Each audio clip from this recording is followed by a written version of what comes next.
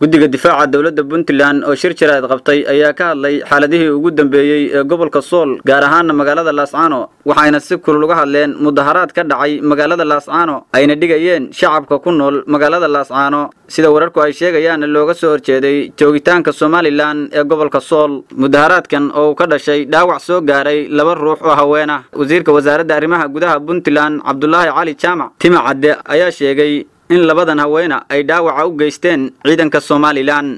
War-saxaafeedkaygu maanta wuxuu daaran yahay si aad la socotaan saaka waxaa ka bilaabmay magaalada laascaanood. Mudaharaad mudaharaadkaasoo ay sababeen ciidamada booliska ugu magacaaban ama wararku ay sheegayaan waxay la soo galeen magaalada baabuur qori saaran yahay ciidan saaran. Dabeedna waxay jiireen baabuur baabuur bay isku dhaceen dabeedna inay baxstaan bay damceen. Caruurihii iyo haweenkii iyo dadkii meesha joogay ayaa dhagxiyey iyana xabad bay bilaabeen. Halkaa waxaa ku dhaacmay laba gabdhood. Iyagana nin baa laga dhaawacay hal qorina kana waa laga furtay. Waxaana intaa sameeyey shacabkii meesha joogay. Ugu horreyntii wuu hambalyeynayna nimanka la dagaalamay dhallinyarada la dagaalantay ee qorigana ka furtay midkana ka dhaawacay. Waana waxaanu ka tacsiinin labada gabdhood ee dhaawacmay. Allaha caafiyo waxaad la wada socotaan oo dee waxba ma qarsoone in labada gabdhood dabcan la soo qaado cisbitaalka garowe loo soo qaado inay diideen oo ishortaageen ilaa haddana ay ku haystaan cisbitaalka laascaanood ayna leeyihiin annagaa qaadano hargeysa geenayna iyo burco. Taasina waxay tusaysaa inay laascaanood isu bedeshay dee maanta qudus baad moodaa inay tahay iyo iyo israa'iil oo kale. Dhaqan soomaaliyeedna maaha dhaqan baniaadmina bani aadamina maaha.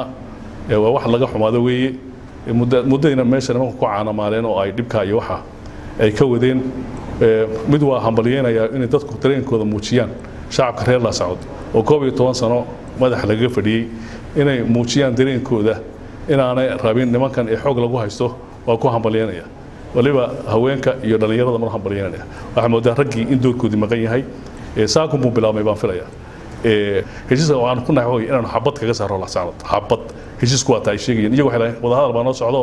Heshiis baanu inaan wada hadlo. Heshiiska noo socda waa xabad inaanu kaga saaro laascaanood dhanka kale gudoomiyaha gobolka nugaal oo ka hadlay arrintan rabshadaha ah ee ay isaga hor yimaadeen ciidanka somalilan iyo shacabka magaalada laascaano ayaa waxa uu nasiib darro ku tilmaamay arrintan. Sanam ay ka fuliyeen magaalada laascaanood halkaasoo lagu laayay shacab kayagii arrintaas aad iyo aad baan uga xunnahay. Ilaahay waxaan leenahay intii dhaawacantay caafimaad ha siiyo baanu leenahay haddee waxay ila tahay gulufku waa dhaga qabaa.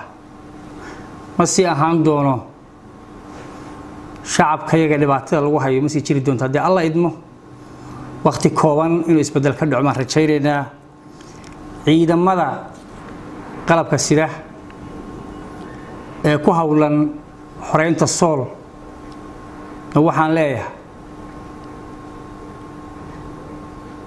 tix yar baan rabaa inaan ku dhufto.